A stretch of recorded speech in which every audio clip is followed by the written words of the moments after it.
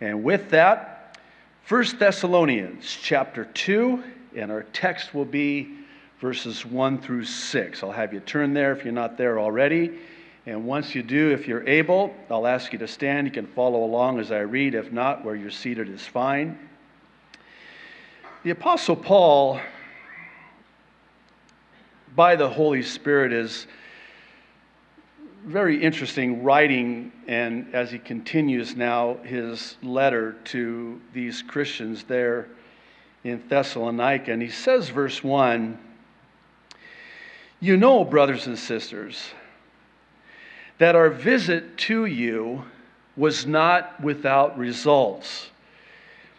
We had previously suffered and been treated outrageously in Philippi, as you know, but with the help of our God, we dared to tell you his gospel in the face of strong opposition.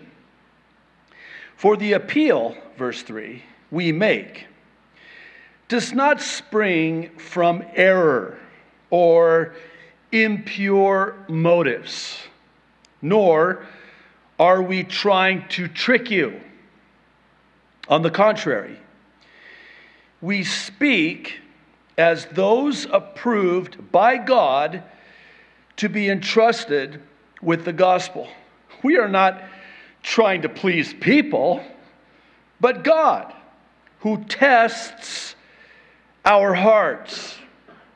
You know, we never use flattery, nor did we put on a mask to cover up greed? God is our witness. We're not looking for praise from people, not from you or anyone else, even though, as apostles of Christ, we could have asserted our authority. Wow, it's kind of intense a little bit, isn't it? Why don't we pray? We'll ask God to bless this to our understanding.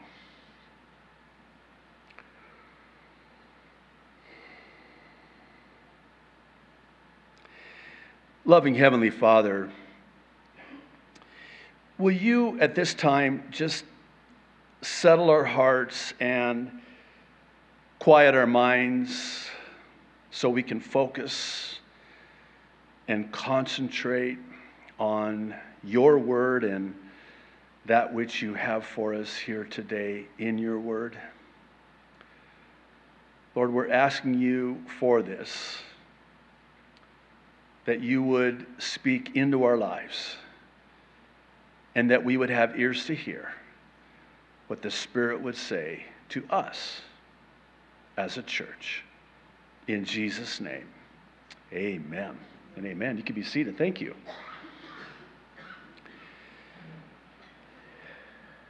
I want to talk with you today about our motives. Specifically, what it is that motivates us. The motive of our heart, if you will. I have to begin, though, by admitting to you that today's text is personally, for me, especially as a pastor, first and foremost as a pastor, very searching and convicting as well. And the reason is that Paul is defending himself against what appears to be these false accusations from those who were questioning his motives, the motives of his heart. And these false accusations were like Paul is seeking his own glory. Paul's in it for the money. Paul's deceiving you. Paul's a man pleaser. Paul cannot be trusted. And you can sort of surmise that and conclude that when you read what Paul is writing to them. I mean, he has to tell them, I'm, I'm not trying to trick you, as I'm being accused of. I'm not in it for the money, for greed, as I'm being accused of. I'm not in this for myself or for my own glory, as I'm being accused of. This is one of those places in God's Word where it's important to understand why we even have it in God's Word. I think sometimes it's good that we ask ourselves that question Why did God deem this important enough to inspire the writer to include it within the pages of Holy Writ? I believe the answer as to why we have this in our Bibles is for those of us, whether in the pulpit or like you in the pew, as it were, to ask ourselves some serious questions in this regard. Questions like, why do I do what I do? In the sense of what motivates me when it comes to my Christian life and ministry. It's not so much what I do or even how I do what I do. It really matters why I do it. Why do I do this? There are two such questions that Paul answers concerning what his true motives are. And I think we would do well to ask ourselves the same question. And the first question is in verses 1 through 3, and it's this Am I motivated by what's in it for me? Is that the motive of my heart? What's in it for me? many years ago, I heard someone say that everyone is tuned in to WIFM. Have you heard of that station? WIFM. What's in it for me? Everybody has a those, those four letters written all over them. What's in it for me? And certainly this applies to the pastor, but just so you know, you're not going to get off too is easy because misery loves company. And if I'm convicted, I want you to be as convicted as I am. So, in love, of course. And please know that I'm not referring to you. I mean, I think you know how I feel about you and how much I love you as a church. This is an amazing church. But every so often, we'll have a visitor come, and the body language is so obvious. It's kind of like this. All right, bless me. Really? And, and, and you notice it during the worship. Oh, their, their hand, again, I'm not talking about you. I got to be really careful here, don't I? Especially in what direction I look, because then somebody thinks, oh no, he's talking about me. I folded my hands during the worship. I'm not. But instead of hands raised, it's arms folded during the worship. Like, like, oh, the worship is supposed to bless you? I, I got news for you. It's not about you. You know that song we sing? I love it. I wish it were true. that song that we sing, it's all about you, Jesus. Liar! It's not all about Jesus, it's all about you. You sit yourself down in that pew. And it's this this attitude of, hey, I didn't really like the worship today. Well, that's not a problem because the worship wasn't for you today, it was for Him.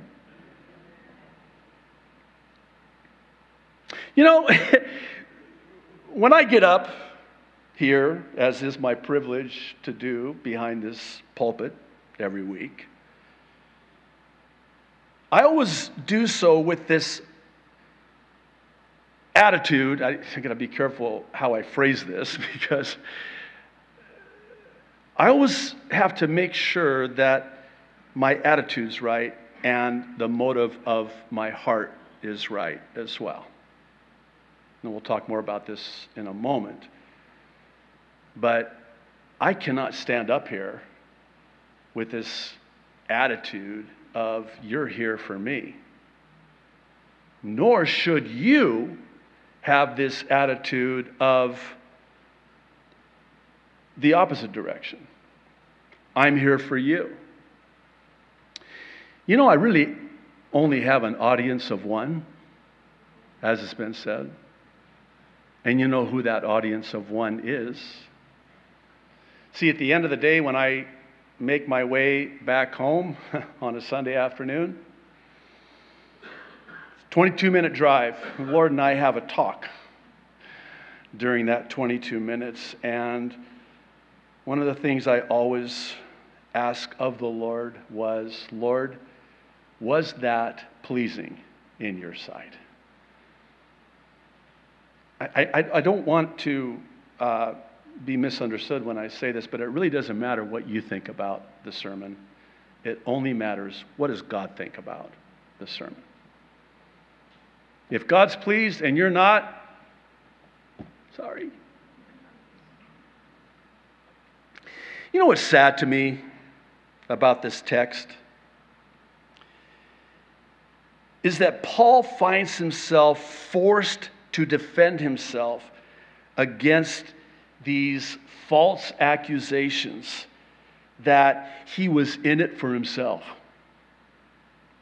And these accusations were made for the sole purpose of discrediting Paul's character. Because if you can discredit Paul's character, then in so doing, you can also discredit his ministry and, as such, the gospel message. You know what I find interesting is whenever I'm on the receiving end of a false accusation, the accuser is usually guilty of that which they're falsely accusing me of. It's believed that the Jews were stirring things up and they were leveling these false accusations against Paul in opposition to Paul. And so Paul has to defend himself. You know, there are times when we would do well to let God defend us, but then there are other times when it's really important that we offer a defense of the gospel, and that's usually the litmus test. This isn't Paul personally defending himself, he's defending the gospel, the message, because he knows what's at stake here. So he's arguing his defense by presenting the evidence, if you will, and his evidence, Exhibit A, is his suffering. That's his evidence. In other words, were he in it for what he could gain from it, he certainly wouldn't stay in it if it meant suffering because of it. Do you see that? Here's Paul now on the receiving end of these incredible false accusations that he's in it for the money. And here's Paul going, Are you kidding me? I'm in this for myself? Oh, yeah. I signed up for this. I'm, I'm standing in line for suffering and shipwrecks and beating, imprisonment. The list goes on and on. Listen, let me just ah, sometimes I have to.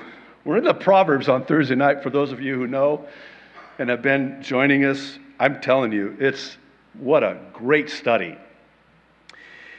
And uh, one of the things, this recurring theme in the book of Proverbs is you better be careful with your mouth and what you say. And, and you know, with many words, transgression is unavoidable. that proverb was written for me. I mean, the more you say, the more, you know, potential there is for saying something wrong. So I need to really think this through before I say it. Personally, I did not get into the ministry because I wanted to be popular or have friends or make more money. In fact, it's the exact opposite that's true.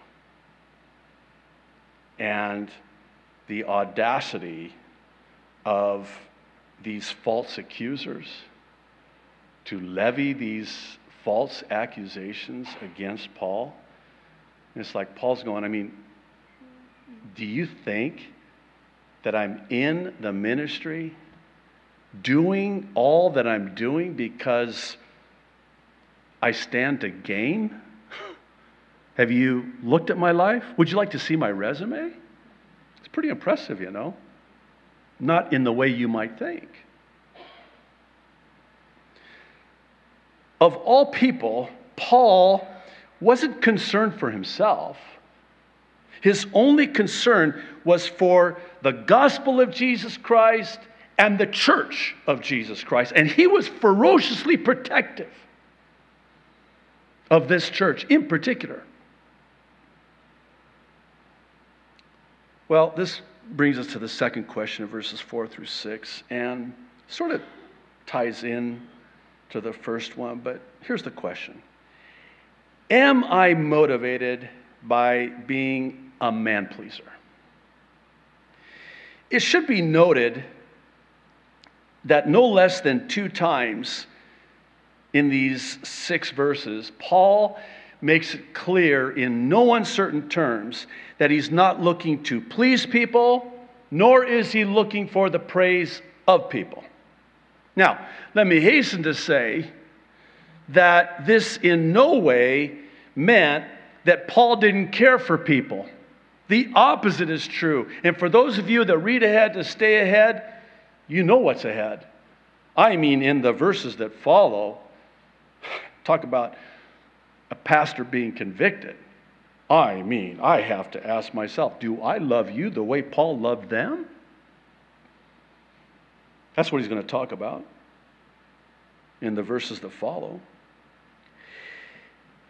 There's actually another question that this brings up, and it has to do with the disparity or discrepancy, if you prefer, in the church today.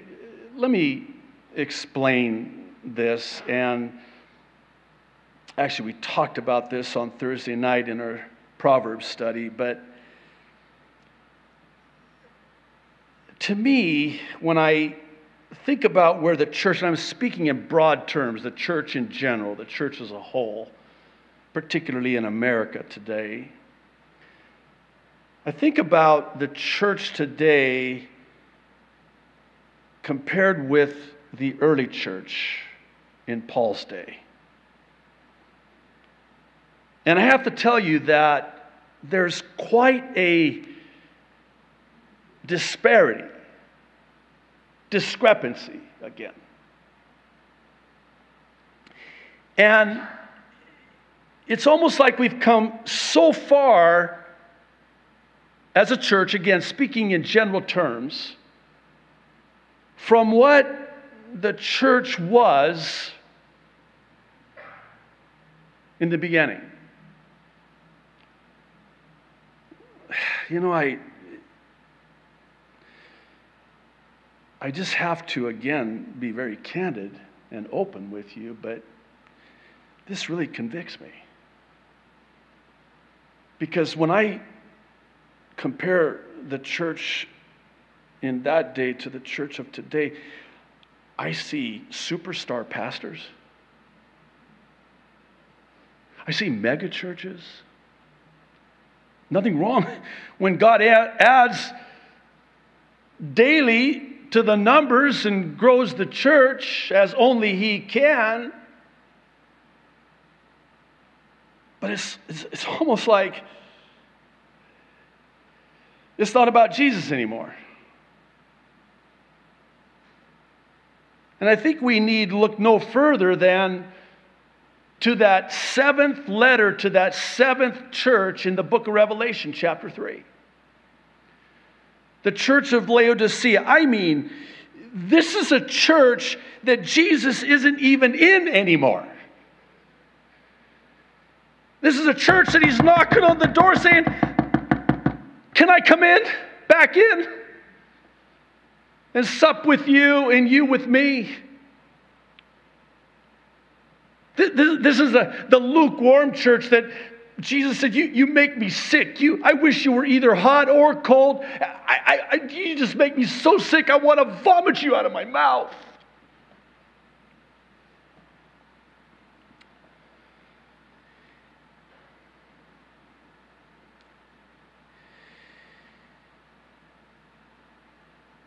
When measured up against the plumb line, of God's righteousness. What do you mean by plumb line? Well, a plumb line is a weight that is suspended from a string that's used as a vertical reference to ensure that a structure that is built is straight and centered. That's the measuring, that's the gauge, that's the plumb line, up against which Everything is measured. We see this plumb line of God in Scripture as the measurement of righteousness related to every aspect of our Christian lives and certainly every aspect of the Christian church. Listen to what Isaiah said, chapter 28, verse 17. I will make justice the measuring line and righteousness the plumb line. And when he does, not good. Hail will sweep away your refuge, the lie, and water will overflow your hiding place. In other words, God takes his perfect standard of righteousness, this, this plumb line of righteousness, and here's my life, your life, Here's the church, the ministry, and it's measured up against that plumb line. And it's like this. Whoa! Like this. The disparity, the discrepancy. It doesn't line up. The prophet Amos says in chapter 7, verse 7, this is what he showed me. The Lord was standing by a wall that had been built true to plumb with a plumb line in his hand. And the Lord asked me, What do you see, Amos? A plumb line, I replied. Then the Lord said, Look, I am setting a plumb line among my people Israel. I will spare them no longer. I have a book in my library written by a man by the name of Stanley Voke.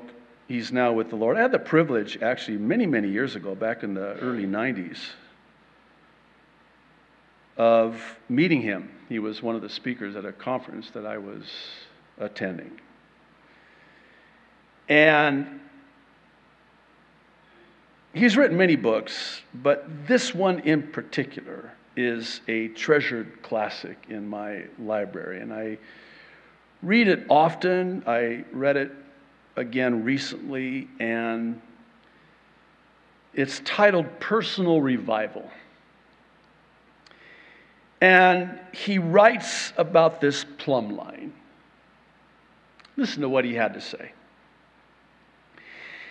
We see God standing on the wall of our life looking upon every part of it. As he holds the plumb line against us, it becomes obvious where things are not quite straight. Every part of life is touched. For instance, When the plumb line goes deeper into our motives, it tests whether we do everything for the glory of the Lord or to please men. So, God searches us with his plumb line, not to drive us into judgment or despair, but to draw us sweetly to repentance, that in his arms we might find forgiveness and the fullness of his love. And then he says this I love this. He wants us not to hide from him, but in him, in Christ's righteousness. So stay with me. Here's, here's what it looks like. Here's God's plumb line.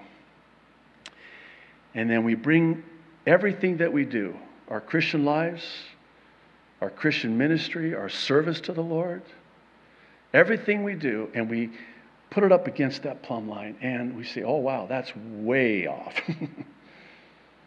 that's really way off. That area is really, here's, here's the plumb line. And, and here's my life that the plumb line is the measurement of. And it's way out of whack, if I can say it that way. So, what's my response? Condemnation? Absolutely not. Conviction? Absolutely yes. And this is what I mean by, and when you teach the Bible expositionally, book by book and chapter by chapter and verse by verse, you can't get away with skipping over this. Could you imagine? I show up here one Sunday and a text of this nature, and I say, by the way, we're going to skip the first six verses of 1 Thessalonians chapter 2 because it's like way too convicting. I mean, when the plumb line of God's measurement and righteousness is here, and the church is here, and my marriage is here, and my ministry is here, and my service is there, and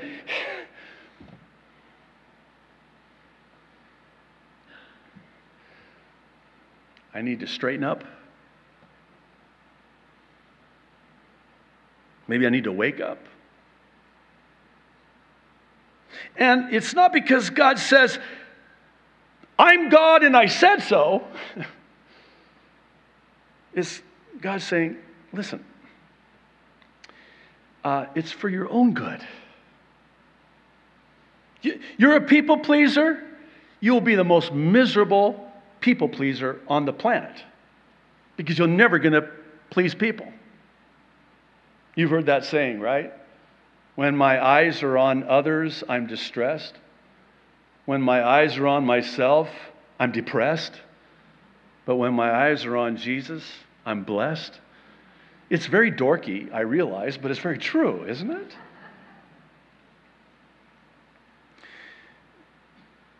God desires our best and that we are so blessed. And he says, here's the plumb line. And to the degree in which you are in line with my plumb line, you will be blessed. And the further away from it you go or are, it's to your own peril. Would this sound like a firm grasp of the obvious if I were to say to you that God wants your marriage to be blessed? I mean, I know that sounds like a firm grasp of the obvious, right? He has your best interests at heart. And quite frankly, he has to because marriage is a microcosm of the eternal picture because it portrays and pictures and points to our marriage as the bride of Jesus Christ to our bridegroom, Jesus Christ. That's why, by the way, Satan hates marriage so much. And this is not a teaching on marriage, that's another topic for another time. But that's why the enemy hates your Christian marriage, because of what your Christian marriage represents. not just the Christian marriage, he hates the Christian church. And he'll do everything he can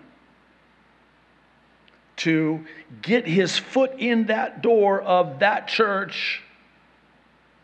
He'll join that church, he'll become a member of that church. That might sound far fetched, but that's how he does it. Very subtly.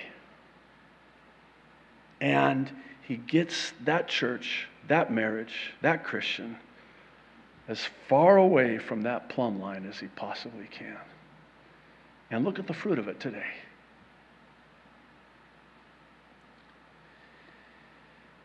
I pray in closing that we would allow the Holy Spirit to search our hearts, the motives of our hearts, and see if it be in line with God's plumb line of righteousness. Let's pray. Father, thank you.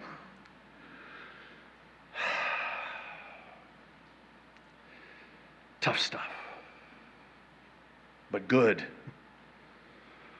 A hard word, but it's your word. I think of the disciples after that hard teaching about your body and your blood and how the multitudes just, I mean, they bailed. And then Peter asks you, or you ask Peter, Are, are you going to bail on me too? And, and Peter's response is, Where are we going to go? You alone. It's a hard word, but you alone have the word of truth. This is truth. Lord, thank you for your word of truth. I pray that we'll have the needed impact on our lives as your people and on the life of this church as your church, we pray. In Jesus' name, amen.